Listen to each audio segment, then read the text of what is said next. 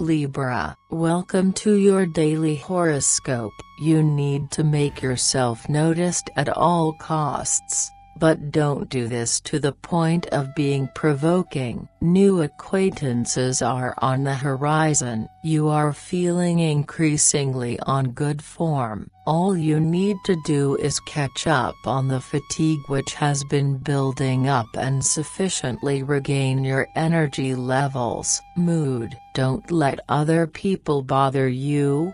Concentrate on what you really need to do. Love, your greatest asset will be your innate tenderness. You will be pleased you were patient. All that's happening today is as a result of your previous actions. Money, it's up to you to preserve or acquire your financial independence. Don't be too humble. Work, today's changes fall within the category of the stable and long-lasting. This is the time to ask for what you feel you are owed. Have a nice day Libra, see you tomorrow.